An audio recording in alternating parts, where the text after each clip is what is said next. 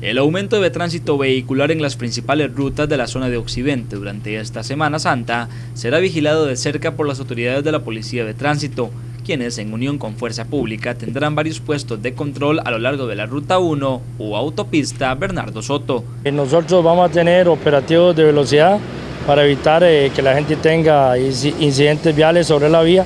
Vamos a tener operativos nocturnos de alcohol, y vamos a tener unidades policiales también en diferentes puntos de la Bernardo Soto para evitar que la gente irrespete las señales de tránsito. La Policía de Tránsito recomienda utilizar los dispositivos de seguridad como el cinturón, la silla especial para niños de menos de metro cincuenta de estatura, casco para los motociclistas y todas aquellas acciones que ayuden a evitar las muertes en carretera. Lo que se requiere es evitar muertes en carretera, eh, respetar la ley 9078, ley de tránsito que está vigente en este momento.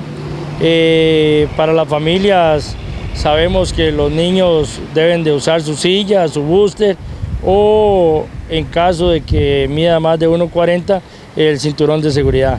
Esto para salvaguardar la vida de los menores eh, que circulan en los vehículos. Eh, nosotros los damos a la tarea, trabajamos día a día con ese fin. Eh, a veces lo veo uno un poco difícil, pero estamos para eso. Se le recomienda a la gente respetar las leyes, eh, respetar a los oficiales. En caso de que necesiten alguna ayuda, estamos para servirles y estamos para evitar eh, accidentes en carretera. Lo más importante es que en esta Semana Santa usted maneje con precaución, sea cortés y respete las señales de tránsito a fin de reducir las muertes en nuestras carreteras.